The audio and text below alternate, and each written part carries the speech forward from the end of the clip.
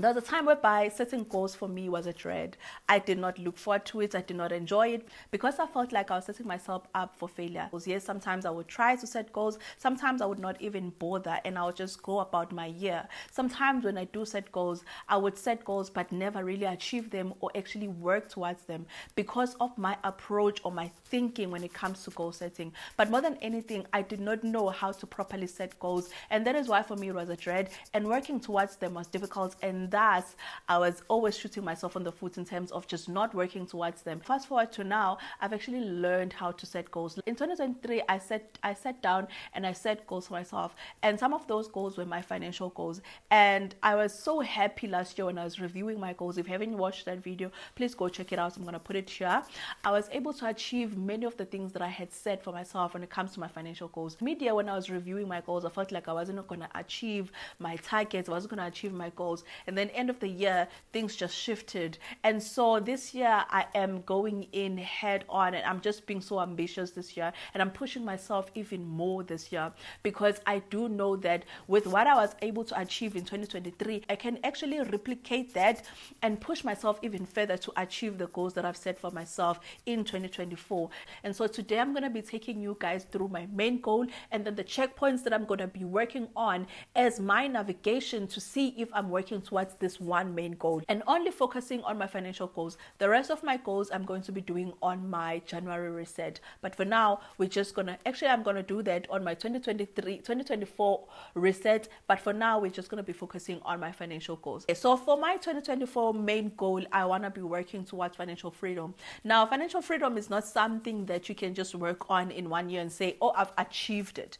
because it is something that varies and also Financial freedom is kind of big. To me, financial freedom means living a life whereby I do not have to wake I, I wake up to go to work because I choose to. I have more than enough savings, I have more than enough investment. I am living a life whereby what I have allows me to live a good uh, to maintain a good standard of living without feeling the need to have to work. Right now, when I wake up and I work, I work because I need the money in order for me to maintain the standard of living that I'm that I have. But I want to get to a point whereby I do not have to wake up and go to work. I choose to wake up and go to work. And that is why I say I cannot just say in one year I've done this, all of these things, all of these things and say I've reached financial freedom. I am still a long way to get there, but I know that with the things that I'm working on each and every year, I'm actually getting closer and closer to achieving that goal of mine, which is financial freedom. And so my my main goal is going to continue to be financial freedom for the next foreseeable future until I get to a point whereby I feel like I have reached it. And for me, one of the things that I know that will be an indication that I've reached it is when I've paid off this house or something that I know that, okay, I no longer have this big debt such as a house. Now, I don't have a goal to pay off my, my house right now because I want to set up myself in a different way. For me, by paying off my house is not something that is urgent right now. It's not something that I can say, I want to do that right now because I am comfortably doing that. And it's really not putting pressure on my finances. I would rather use my current finances, the surplus that I have, channeling it in investments whereby it can bring me, you know, interest that I can then know that eventually when I have the sum of money, then I can start attacking my bond. But right now, I do not want to rush into attacking my bond while I know very well that I haven't gotten to the target that I want when it comes to my emergency fund. I haven't gotten to a target that I want when it comes to my child's investment. I haven't gotten to a target that I want when it comes to my own investments. So I need to work on those things first, feel secure on those things first, and then I can then say I'm going to be attacking such a big thing such as paying off my bond. Now let's get to the checkpoints that I'm going to be setting up as navigation for me to see if I am working towards this main goal, which is financial freedom. So I've broke down my goals. I've broke down my goals into long term, medium term, and short term. So the first goal that I have under my long term goal is building my wealth. I recently collaborated with Franc and they're also sponsoring the portion of this video. Thank you so much, Franc Group, for partnering with me in the portion of this video. Now I did a reel talking about me wanting to build wealth and me setting up my goal of building wealth. And I decided that it is time for me to start start thinking long term because for a long time I've been working on just short term things whereby I really wanted to free up as much of my disposable income as much as possible.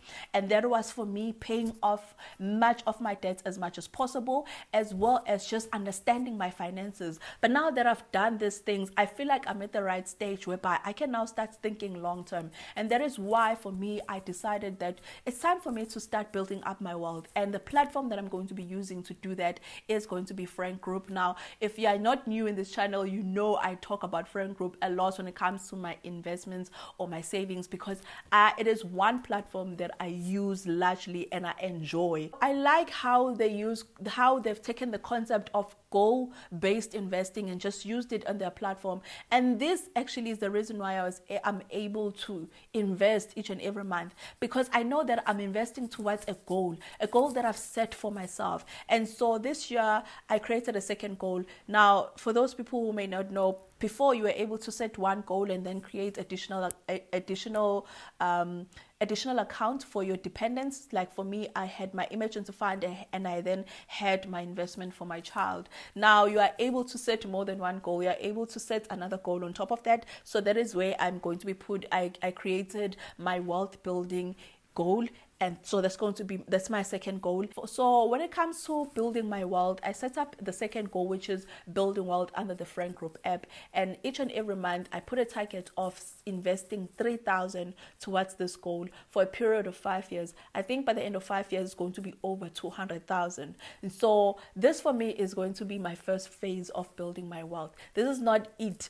because i understand that when we're talking about wealth we're talking about something different you know? We're not talking about just 100,000 and then saying, hey, that's your world. When we're talking about wealth, we want to get to a point whereby our, our net worth is you know a substantial amount. And so when i'm looking at my wealth when i'm looking at this money that is 200 and something thousand by end of five years my goal or my plan or my thinking let me just say my thinking when it comes to this is i want to then take this chunk of money you know once i know that i've got this 200000 take this chunk of money and put towards my bond. And it's going to put it's going to decrease my bond substantially. Like right now on my bond it's about 500 and something thousand. So if in five years I'm able to put close to 300,000, I literally bring my bond down to a point whereby I can finish my bond much quicker. That is my goal. And that is why when I'm saying, I'm thinking, when I'm saying building wealth, it's not a matter of just putting money and just letting it accumulate. Yes, I'll still be having my other investment, which I'm going to talk about later. But then this one, I want to put my money in a platform that I know that it can grow when it comes to the interest. And I can also stay committed, committed and be consistent when it comes to putting this money away. And then when I reach my goal, when I get to that five years, take this chunk of money and deal with one of the, and deal with this big big debt that I have. Now I know that when I get to that point, it will allow for my net worth to increase because I would have decreased my debt to a certain portion. And that is where I want to get to. To get to a point whereby what I owe is less than what I own. That way I can literally say, okay, now when it comes to my wealth, this is what I'm worth. You know, that's why we start talking about net worth. That is my first goal, which is going to be 3000 per month and saving it for 5 years. And then my second long-term goal is to max out my tax-free account when under EasyEquities. Now, this in 2023 I was able to do this and it was not even a goal of mine, but I just decided that it's time for me to start doing this. And this year I want to continue that. Each and every year my goal is to max out my tax-free and make sure that I'm putting money in there so that it can just continue to work for me. And so, how I'm going to be doing that when it comes to this, let me see my plan because I have my plans down here. I'm looking at my my my this journal by the way. I don't have my I'm using this right now because I don't have my normal journal as yet, the one that I designed and the one that I sold that that sold out because we are still I'm still waiting for the stock to arrive from the printers. They're opening tomorrow, which is going to be Monday. It's a Sunday that as I'm filming this. So when they open on the 8th, I'm hoping that they will ship the orders sometime between the 8th and the and the 13th of January. Then I can ship it to all of you guys that have bought. So if you bought in December, please know that your journal is coming, but I haven't gotten them yet. As soon as I get them, I'm going to ship them to you. So I also don't have the journal. That's why I'm still using this. But as soon as I get my journal, I'm going to transfer my goals into my journal. Okay, so my plan is to take a portion of my bonus money, put it in there. And so when I get my bonus in May, I'm going to put in um, I'm gonna put in over ten thousand into that, and then when it comes to my business, any money that I make, I'm going to put a portion of that into my tax free. And then, obviously, when I make money in my, in my, business, I also have to take into account tax. So I only take money that I know that I'm not going to need, and then I still keep money for taxes as well. So I'm going to take any money that I make in my business, I'm going to take and put it into my, my tax free account, as well as any money that I make on my side hustles I'm going to take and put in here and make sure that I just mix out. Now, here I'm also investing for wealth purposes as well. So it's another component of building my wealth. That is my second goal when it comes to my long term goal. And then now let's get into my short term goals. My first one is my emergency fund. Even though this is when you talk of emergency fund, this is money that you want to be to have access of, be it that you need it. But that there might uh, there might be a long time whereby you do not tap into it. Like for me a year can end like a, a, whole year can start and finish without me tapping into my emergency fund. And that is because of how i budget but more than anything my other savings as well. You know we're going to get into my sinking funds. I'm going to share that with you. And how I, I save on other things as well that i'm able to tap on those savings without rushing into my emergency fund. And that is why i classify this one as my medium term goal. And so my emergency fund, I did fully fund it last year in terms of the 30,000 that I needed. But obviously 30,000 is not for me, is not enough for me to live on to say that okay, this is enough because I need to have at least 6 months of my living expenses. And right now, I'm at a point where I'm thinking of shifting careers and for me to do that and comfortably do that, I really want to make sure that my emergency fund is fully funded so that I know that be it that things happen if I do shift my careers, that I know that I do have that money that can help me to survive for a certain period of time. So, when it comes to my emergency fund, I want to build it up again. So what I did last year is I I saved I saved up until it was 30,000 and I took a portion of that and then I invested it towards my tax-free account. I put it on my tax-free account under EasyEquities and then it brought it down to about 13,000. And so right now as I'm going to be starting, I'm going to be starting off from 13,000 and building it up again to 35,000. My goal is to make it 35,000 by the end of this year. And so how I'm going to be doing that is that each and every month I'm going to be depositing 1,300. It's no longer going to be 1,210. I'm increasing it because the inflation goes up each and every year, and so is my investments. And so this year is going to be 1,300. The 1,300 that I'm going to be putting towards this. Another thing that I want to do is I'm going to take a portion of my bonus and I'm going to put it on this invest on on this text on on this emergency fund so that I can get to my goal that I want because if I save 1300 it's not going to be enough for me to reach the 35000 that I've set for myself. So I'm going to need some other monies that will help to bump it up. So I'm going to be using my my bonus money to do that. Now the next goal that I have here now that I'm looking at my now that I'm looking at it, it's actually not a medium term goal. It's a long term goal because it's my invest it's the invest it's my investment for my daughter.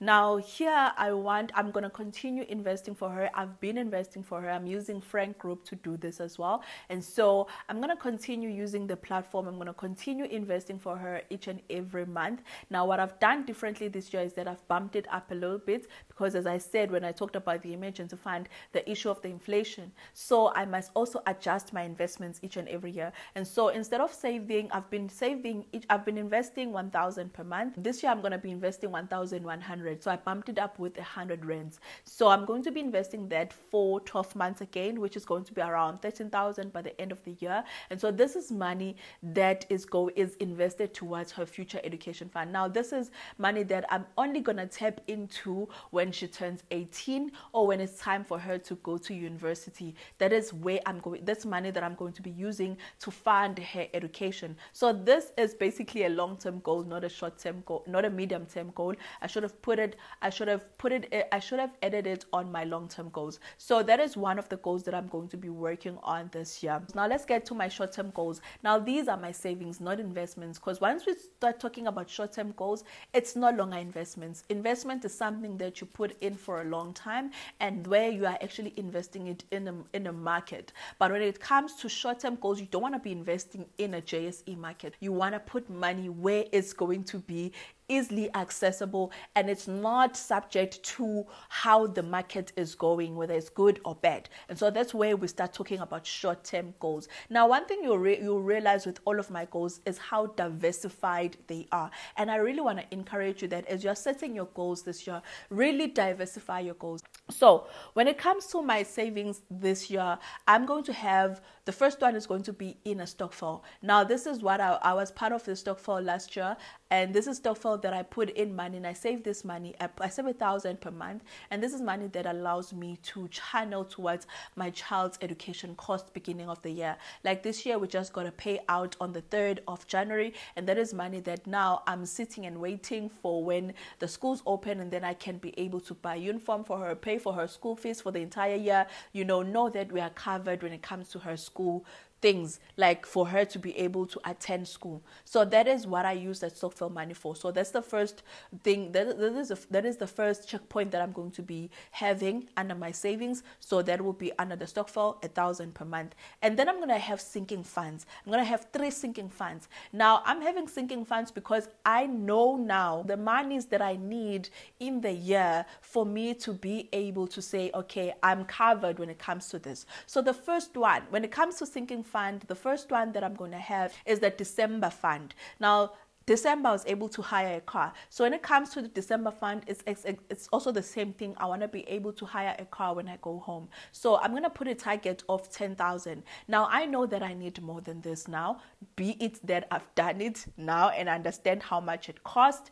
So this year i'm going to put a target of 10000 but if i can push in like if i can get paid more i get more unexpected money i want to channel it towards this you know so that i can have at least 15000 but i want to don't i don't want to set a goal of 15000 knowing well knowing very well that right now when i look at my budget it wouldn't be possible for me to work towards this so i'm setting a target of 10000 and then each and every month i'm going to be putting away 910 and i'm going to be saving it on TymeBank so that I'm able to track it. So that is where I'm going to be keeping this first sinking fund. The second two sinking fund, I'm going to be using my cash stuffing to do them.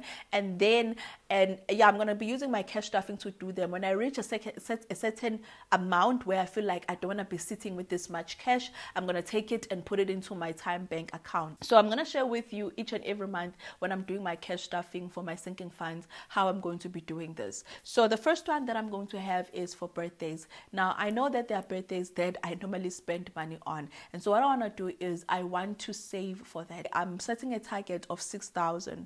And this is not to say when I get to 6,000, I'm going to say I'm okay. I'm just saying that it's going to be 6000 i don't really have any ambitions for it to be more than 6000 but so long as i know that okay each and every month i'm putting in this much money that can allow me to then that when it's someone's birthday i have that money that i can tap into to spoil that person or to gift that person something on their birthday. So i'm going to be putting away 600 per month towards this sinking fund. And so I know that when my when it's my daughter's birthday, at least I'll have one thousand two hundred that I can spend on her. And then the second sinking fund that I'm going to have is house to home. Even though my house is already like I feel like this is a home. I've done a lot of things, but then there are other things that I want to be able to do. I want to like I want to change the curtains in the living room. I want to buy new bedding for my bed. I want to buy a headboard for my daughter. And so all these things are to need money. And so I want to save up for the things that I may need for the house. This is not to say I'm going to build it up to a certain amount and then use it, but it's just to say I'm putting money away so that if I feel a need or I see something at the shops that I want to buy for the house, I know that I have a fund for that. And so I'm going to tap into that fund to take that money to buy those things for the house. You know, if I may want to buy new cutlery, I know that I can tap into that fund and use that money. And so that is what it's going to be for to save per month a minimum of 500 rands towards this and build it up until 3000. If it ends up being more, then it's fine but my goal is to have at least 500 per month. And this is money as i said will allow me to buy things for the house. If i see something that i like for the house i can be able to tap into this.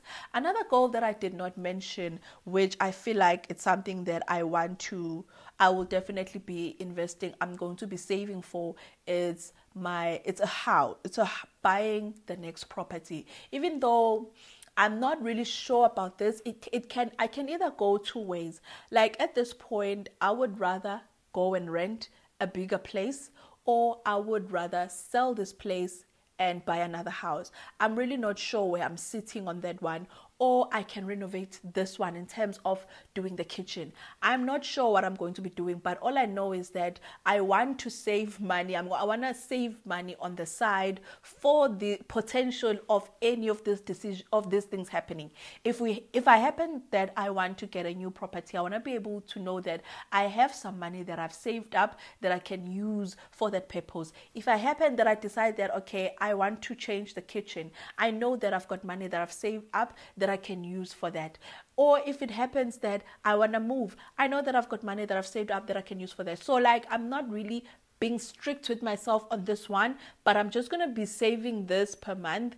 I'm not going to be saving it per month, but it's money that I'm going to putting away when I get like a bonus. So my bonus, I'm going to split it in many ways portion of it is going to go towards this other thing the portion of it is going to go towards other thing and then a portion of it is going to go towards this as well. So my goal is to have at least 20000 saved up on this thing on this goal that i'm is really quite vague. I'm also not sure where it's going to go but i just want to make sure that at least i've got 20000 that i can say is saved up for any of these things potentially happening you know? Like really right now i would love to have a bigger space because we are outgrowing this space much quicker and I really need more space for me to be able to run my business. And it's very hard. Like right now I'm sitting with a box of cash envelopes here that I received, and I don't have a space for it. It's just sitting here in my living room, and that is where my di- diaries were sitting. But it was nice with my diaries because when they arrived, they were also going out because they were already bought. But with this one, I have to launch it and all the stuff. And so, as I grow my business when it comes to buying things, you know, I want to be able to store those things and all the stuff, have a designated room where I can film right now I have to do a lot of things in order for me to film. So that is why I'm saying we're outgrowing the space, the space so quickly. I need more space that can be functional for me to be able to be effective, you know just be able to do my things and not have to think or have to do a lot of things in order for me to be able to just sit down and say hi to you guys and film a video. So I know that this is something that I'm I would love for them to happen. I don't know when they're going to happen, how they're going to happen. All I know is what I can do is prepare myself financially. And so I'm going to be putting money away when I get my bonus, a certain amount. I'm going to put it away so that when it's that time, when that time arises, I know that I've got money for any of these things potentially happening. So, those are all my goals in a nutshell, and all of them in total, I want to be able to save and invest a minimum of 100,000 this year. Last year it was 80 something thousand and I was able to meet the, the target. This year I'm pushing it to 100,000. I want to make sure that a minimum of 100,000 is saved and invested by the end of this year. So I hope that you guys enjoyed this video and I hope that this inspires you to sit down and plan for your financial goals, things that you want to work on this year. Don't put too much don't put pressure on yourself, but make sure that when you're setting these goals you are very realistic what I did first, before I even did all of these things, I sat down, a set a budget, and then from there I was like, okay, this is how much money I have. How can I allocate it? So I would really advise you to do that when it comes to your finances. Don't just set random goals. Be clear about how much money you have to allocate towards these things and then set your goals. So with that being said, I'll see you guys on the next one. Please take care and stay safe. Bye.